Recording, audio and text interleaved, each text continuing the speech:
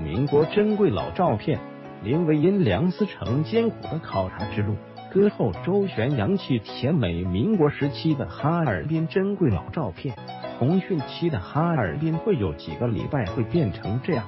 船夫每天早晨渡人出行，赚些零花钱。林徽因、梁思成夫妻两人和费正清、费慰梅在山西考察途中，费慰梅曾写道：“第二天，我们租了两辆驴车，过渡船过了河，算是向介休前进了十五英里。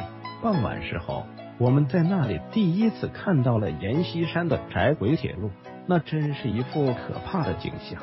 那生了锈的有轨电车大小的铁轨，就安在公路上边。”用泥随便铺成的铁路路基上。一九三四年夏天，林徽因和费慰梅在山西，两人是一见钟情的知己。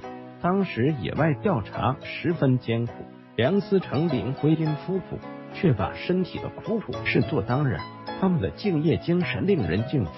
冰心原名谢婉玲，福建长乐人，中国近代诗人，别名冰心，取自一片冰心在月湖。巴金曾这么形容冰心：我们喜欢冰心，跟着他爱星星，爱大海。我这个孤寂的孩子，在他的作品里找到温暖，找到失去的母爱。图为冰心和友人的珍贵合影。民国时期的露天十四，桌上都堆得高高的面食，大人和小孩都相聚一起，场景十分热闹。拍摄于一九三六年。民国时期著名歌后周璇的珍贵老照片，洋气甜美，令人惊艳。周璇是中国最早的两栖明星，近二十年的演艺生涯，拍摄了四十三部影片，演唱了二百多首歌曲，至今传唱的《夜上海》就是其代表作之一，成为民国演艺界的一颗耀眼之星。